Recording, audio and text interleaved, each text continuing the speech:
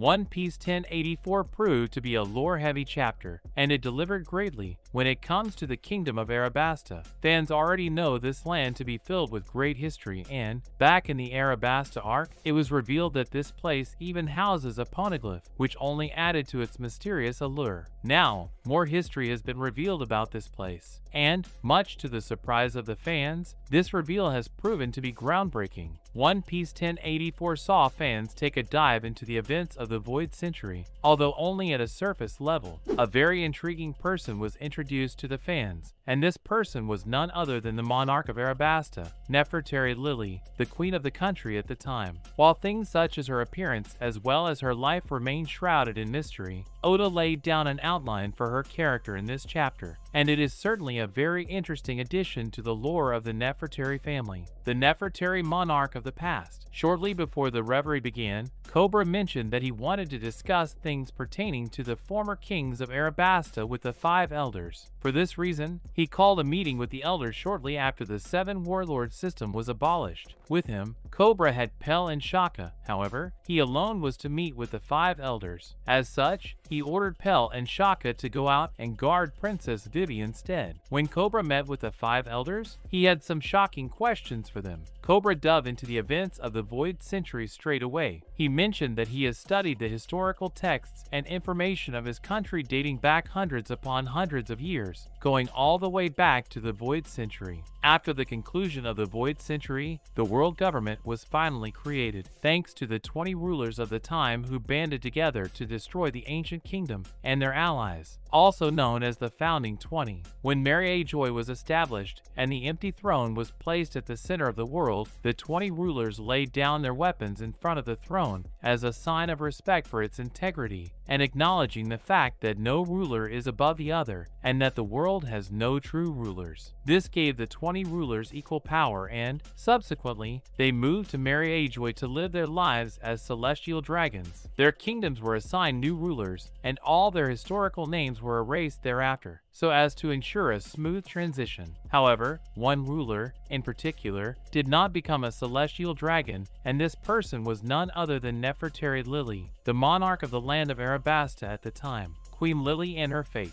Queen Lily was revealed to be the ruler of the land of Arabasta around 800 years ago, and she was a part of the band of 20 rulers who fought against the ancient kingdom. However, she was a responsible woman by the looks of it, and she decided to not become a celestial dragon and ignore the plight of her people. Lily decided to go back to the surface and rule at Arabasta, continuing her duties in the process. As such, there are only 19 weapons laid in front of the empty throne currently. According to the five elders, the records that King Cobra came across were entirely accurate. However, the surprising part comes after King Cobra revealed to the elders that, for some reason, there is no mention of Queen Lily after the founding of the world government. In fact, the next ruler of Arabasta was her brother, and he took this role immediately after the founding of the world government. Queen Lily certainly left Mary Geoise on a journey back to Arabasta, however, she never reached home. Along the way, she met some sort of accident and thus perished. King Cobra sought answers for the tragedy that befell Queen Lily, however. The five elders feigned ignorance and said that this information has been lost to the annals of history instead.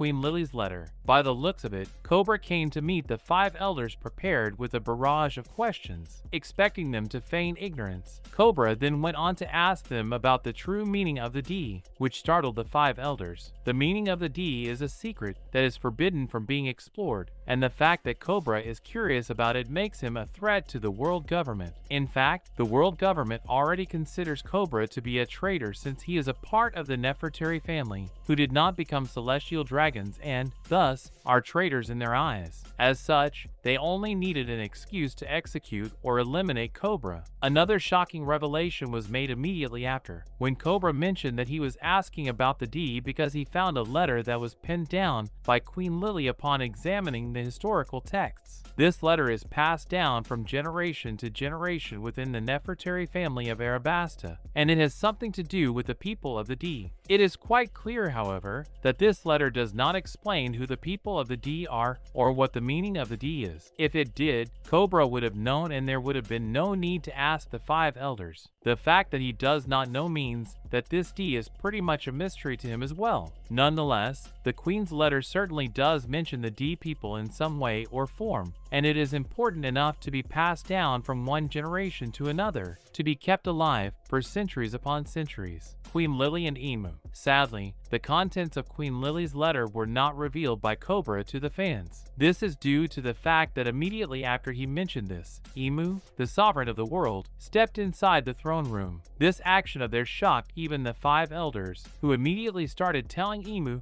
that they shouldn't come out at the time since Cobra was still in their presence. Imu, clearly, did not care and climbed upon the empty throne. This proved to be a shock for Cobra, as well as he expected there to be no ruler of the world. The empty throne was sat upon by Imu in front of him, and there, Cobra realized that the world government was evil down to its very core. What's even more surprising is the fact that Imu somehow knew Queen Lily and had something to do with her disappearance or death. What exactly they did or didn't do remains to be seen. The next few chapters of One Piece are sure to reveal the answer to this mystery and, sadly, that will also mark the end of the life of King Cobra as he will be eliminated by either Imu or the five elders. His death will then be pinned on Sabo, who will thereafter be known as the Flame Emperor. And in other news, One Piece, the history of the Nefertari family explained. One Piece chapter 1084 dropped recently and, much to the surprise of the fans, the author of the story, Oda, dove deep into the history of the Nefertari family. This family has been central to the Arabasta arc of the story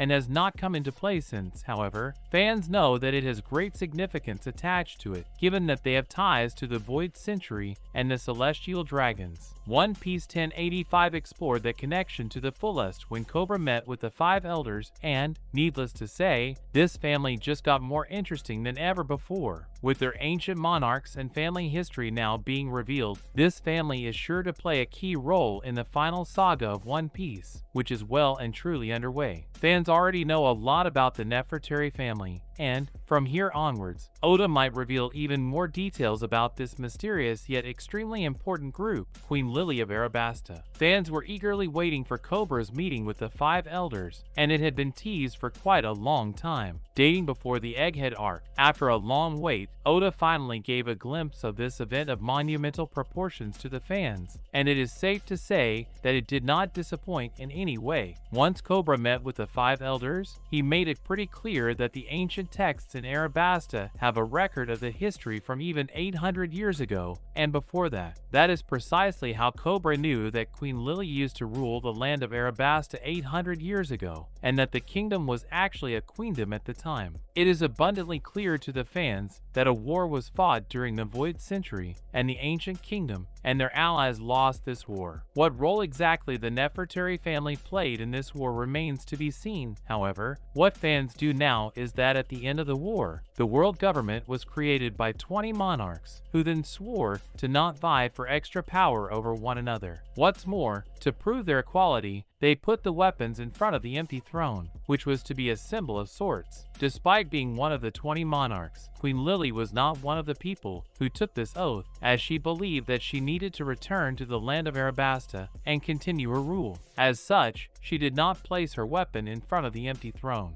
Instead, she decided to go down to continue her rule, however. She never made it back to Arabasta, and there are no records of her following her visit to Mary Geoise. The lack of records is a clear implication that her rule stopped there, and that she died. After her demise, her brother took up her duties and, thus, Arabasta became a kingdom, the letter of Queen Lily. According to Cobra, this was quite suspicious, and he asked the five elders why this was the case. Cobra wanted to know what exactly happened to Queen Lily since her sudden disappearance, and the vanishing of her mentions from the history of Arabasta was rather bizarre. This was one of the biggest reasons why he came to the Reverie, as he believed that they would have the answers that he was looking for, however. Little did he know that they would be of no use. As expected, the Gorosei chose not to answer, and simply feigned ignorance. It is highly likely that they know the answer to this question, but chose not to tell him because they were directly involved in whatever happened to Queen Lily. According to the Gorosei, this whole thing happened 800 years ago, and the truth about this matter is now lost in history. That is precisely where Cobra posed another intriguing question to the five elders and asked them about the meaning of the D. As fans would remember, information about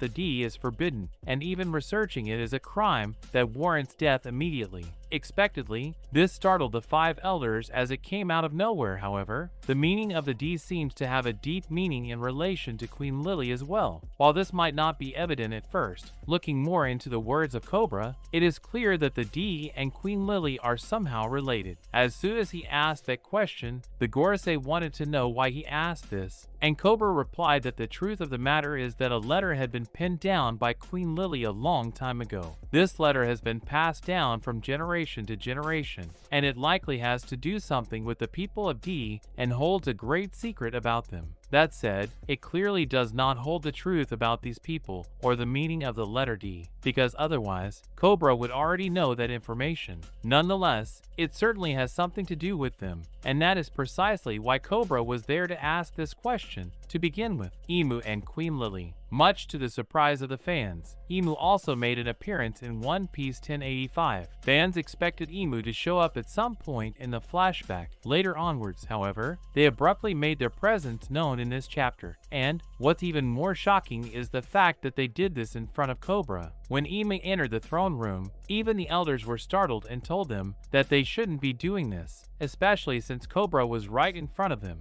Imu's sudden presence shocked even King Cobra, as he didn't believe there to be a true sovereign of the world. But what was even more shocking was the fact that Imu mentioned the name of Queen Lily. This clearly means that Imu has an idea about Queen Lily and knows who she was. This also alludes to the fact that Imu is actually immortal and has lived for the past 800 years or more, at the very least. Judging from their size, might even be a teen, with some sort of connection to Queen Lily. Imu then proceeded to sit upon the empty throne, and it is highly likely that they will answer the questions about Queen Lily in the upcoming chapters, which is something that greatly excites all fans of One Piece alike. It wouldn't be a surprise for the fans to know if the two had some sort of close relationship, blood or otherwise. The matter of fact is that Imu was directly responsible for the death of Queen Lily, however. How exactly her death panned out is something that fans are yet to see. The Nefertari family has been searching for answers ever since then, and it is up to Cobra and Vivi to find out the truth and bring justice to not just Queen Lily, but the people of Arabasta as well. That's a wrap for this video. Don't forget to like this video and subscribe to our channel. We'll be back with more amazing videos very soon.